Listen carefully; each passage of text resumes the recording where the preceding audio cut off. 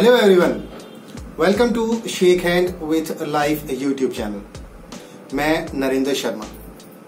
इस वीडियो के साथ मैं एक बहुत पॉपुलर टॉपिक पर एक वीडियो सीरीज़ शुरू कर रहा हूँ और ये टॉपिक इतना इम्पोर्टेंट है कि इसको समझे बिना आप कोई भी प्रॉब्लम सॉल्विंग प्रोजेक्ट को ठीक से कंप्लीट नहीं कर सकते।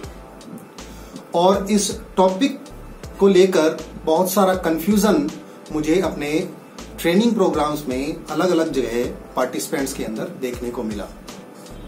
तो आप सोच रहे होंगे, ऐसा कौन सा टॉपिक है?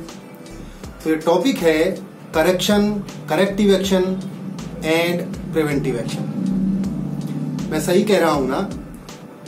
इन तीनों टर्म्स को लेकर बहुत सारा कंफ्यूजन देखने को मुझे मिला और आई होप कहीं ना कहीं बहुत सारा कंफ्यूजन आप भी इन तीनों टर्म्स को लेकर देखते होंगे अपने वर्क प्लेस पर।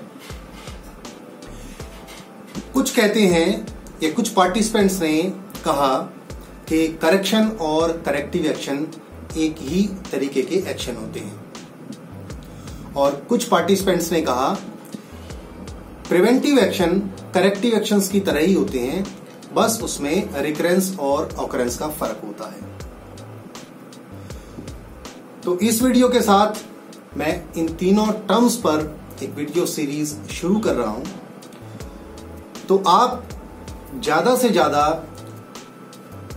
इस वीडियो को और आने वाले जो भी वीडियो हैं करेक्शन करेक्टिव एक्शन और प्रिवेंटिव एक्शंस को लेकर, उनको ज़्यादा से ज़्यादा शेयर करें अपने कलीग्स के साथ और अपने दोस्तों के साथ, जिससे करेक्शन करेक्टिव एक्शन और प्रिवेंटिव एक्शन को लेकर जो उनके अंदर कंफ्यूजन है, वो दूर हो सके। और आज का ये जो वीडियो है, इसमें सबसे पहले हम डिस्कस करेंगे करेक्शन और कंटेनमेंट एक्शन करेक्शन और कंटेनमेंट एक्शन पर कोई भी डिस्कशन शुरू करने से पहले, अगर आपने shake hand with life YouTube channel को सब्सक्राइब नहीं किया है तो प्लीज़ उसे सब्सक्राइब कर लीजिए। सब्सक्राइब बटन नीचे दिया गया है।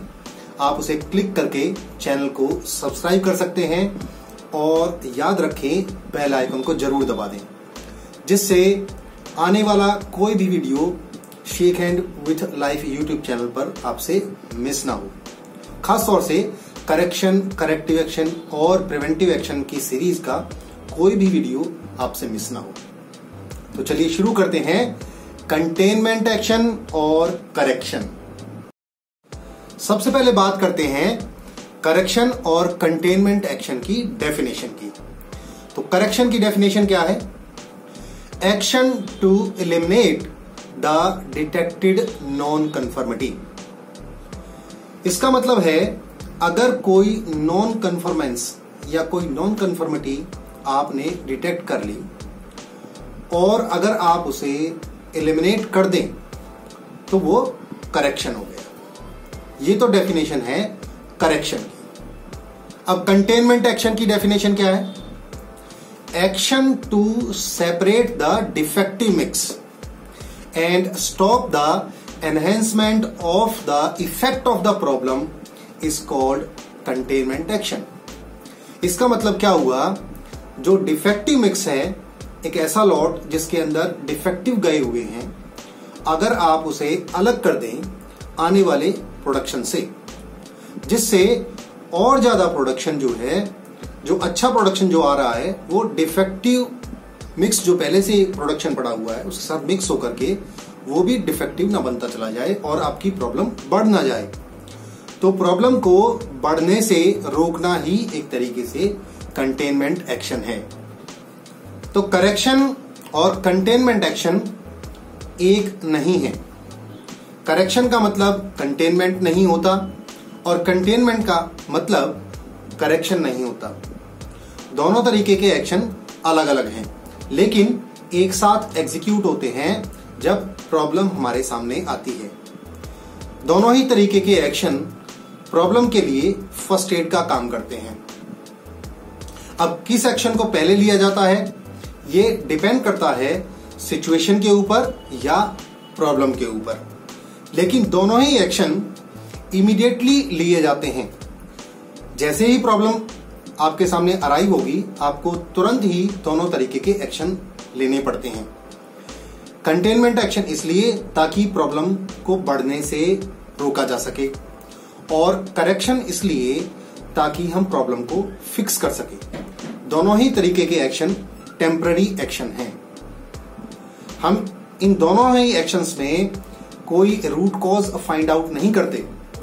सिर्फ़ प्रॉब्लम को बढ़ने से रोकते हैं और प्रॉब्लम को फिक्स करते हैं टेम्पररी अब आप कहेंगे कि साहब, कोई एग्ज़ाम्पल देकर बताइए जिससे करेक्शन और कंटेनमेंट एक्शन को बेहतर तरीके से समझा जा सके।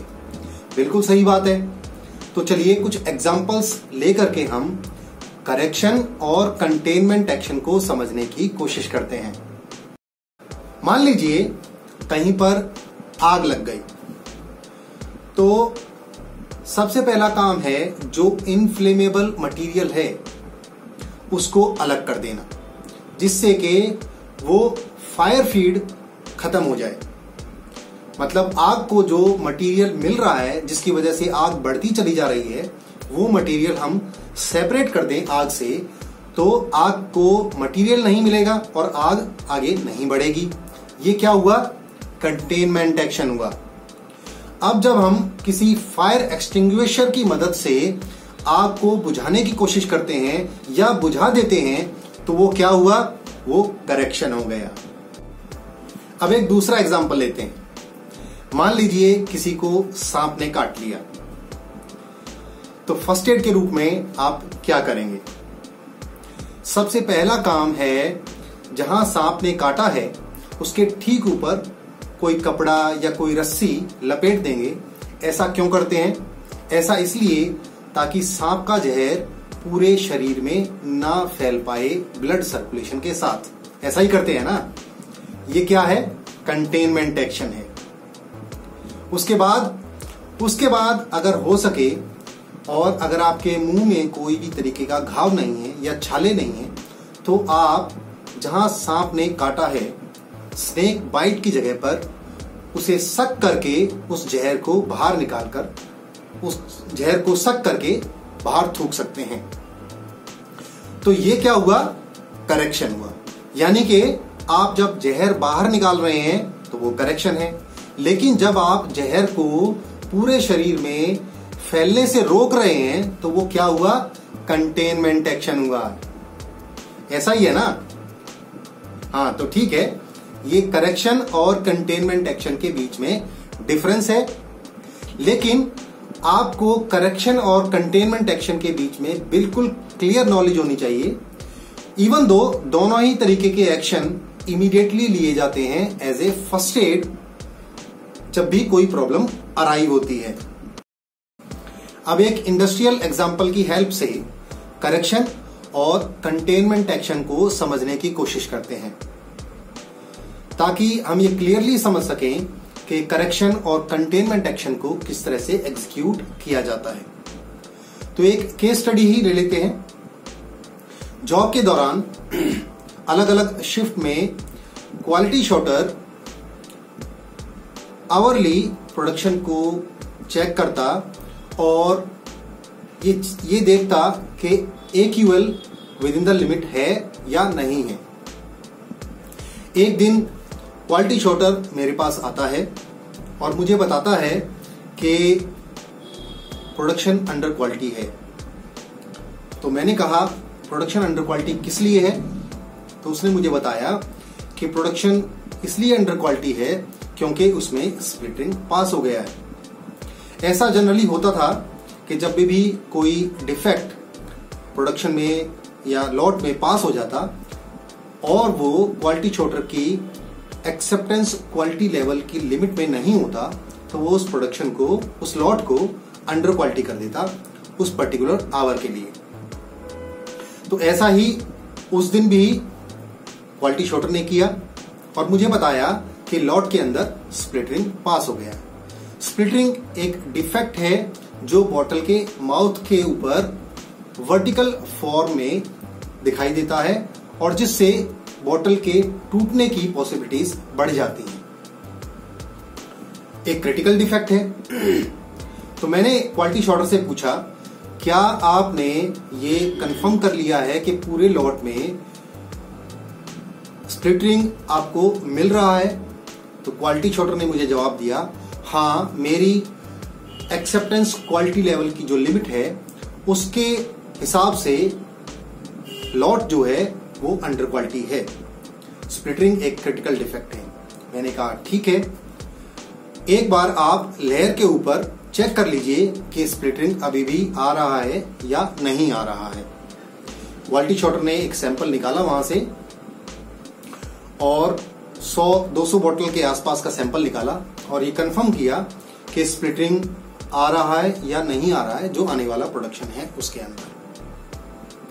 क्वालिटी शॉट ने मुझे बताया कि स्प्लिटिंग लेयर के ऊपर नहीं है। मैंने क्वालिटी शॉट से कहा कि जिस लॉट के अंदर, जो पिछले आवर का जो लॉट था, आप उसे अलग करवा दीजिए। जिससे जो नया प्रोडक्शन आ रहा है इस आवर का, वो पिछले आवर के प्रोडक्शन के साथ मिक्स ना हो जाए। मैंने क्या किया? कंटेनमेंट एक्शन लिया। फिर मैंने क्वालिटी शॉर्टर से कहा कि डिफेक्टिव लॉट को आप क्वारंटाइन में मत भेजिए, मैं उसे अभी रीशॉटिंग करवा दूँगा। जो मेरे पास एक स्पेयर में मैन पावर थी और साथ में मेरे साथी जो क्वालिटी ऑफिसर थे, उनसे भी मैंने एक स्पेयर मैन पावर डिमांड की। तो उन्होंने मुझे भी एक मैन पावर प्रोवाइड की। मैंने दोनों मैन पावर को जो डिफेक्टिव लॉट था उसमें लगाया और शॉप फ्लोर के ऊपर ही लॉट को स्प्लिटरिंग के लिए रिशॉर्ट करवा दिया। तो मैंने क्या किया? शॉप फ्लोर के ऊपर ही करेक्शन कर दिया। यानी कि जो डिफेक्टिव पीस थे, उनको निकलवा करके जो ओके पीस थे, उनको उसके अंदर रिप्लेस कर दिया। तो इस तरह से लॉट जो है, अब ओके हो गया। इस तरह से शॉप फ्लोर के ऊपर ही क्या कर दिया? करेक्शन कर दिया। तो ये है कंटेनमेंट एक्शन और करेक्शन जब आप प्रॉब्लम को बढ़ने से रोकते हैं, यानी कि प्रॉब्लम के इफ़ेक्ट को एनहेंस होने से रोकते हैं तो वो क्या होता है? कंटेनमेंट एक्शन और जब आप प्रॉब्लम को करेक्ट करते हैं, जैसे कि रिशॉर्टिंग करवाना तो वो क्या है? वो करेक्शन है। उसे कहते हैं करेक्शन आई होप कि आपको करेक्शन और कंटेनमेंट एक्शन का कंसेप्ट एकदम क्लियर हो गया होगा। तो फिर देर किस बात की है? नीचे कमेंट में लिखकर अपने एक्सपीरियंसेस ज़रूर शेयर कीजिए कि आपने किस प्रॉब्लम के लिए क्या करेक्शन किया और कौन से कंटेनमेंट एक्शन लिए। जिससे औरों को भी पता लग सके करेक्शन और कंटेनमेंट एक्शन के बारे में। करेक्शन करेक्टिव एक्शन और प्रिवेंटिव एक्शन की इस सीरीज़ में नेक्स्ट वीडियो में हम स्टडी करेंगे cause failure mode and effect के रिलेशनशिप के बारे में। इन तीनों के रिलेशनशिप के बारे में समझना बेहद ज़रूरी है। करेक्टिव एक्शन और प्रिवेंटिव एक्शन को स्टडी करने से पहले। क्योंकि अगर इन तीनों का रिलेशनशिप अगर हम नहीं समझ पाए कॉज फेलियर मोड और इफ़ेक्ट तो फिर ठीक से ना तो करेक्टिव एक्शन लिए जा सकते हैं और ना हम प्रिवेंटिव एक्शन ले पाएँगे। इसलिए आप shake hand with life YouTube channel को सब्सक्राइब ज़रूर कर लें और बेल आइकन को ज़रूर प्रेस कर दें, जिससे आने वाला कोई भी वीडियो आपसे मिस ना हो। साथ साथ अपने दोस्तों को और कलीग्स को ज़रूर इनवाइट करें shake hand with life YouTube channel को सब्सक्राइब करने के लिए। अगर वीडियो पसंद आया है तो इसे लाइक ज़रूर करें और शेयर करें इस वीडियो को ज़्यादा से ज़्यादा अपने दोस्तों के साथ और कलीग्स के साथ। कोर्स नोट्स और ई बुक्स को पीडीएफ में डाउनलोड करने के लिए मेरी वेबसाइट www.shakehandwithlife.in पर विज़िट करें। इस वीडियो में इतना ही। See you soon in my next video thanks for watching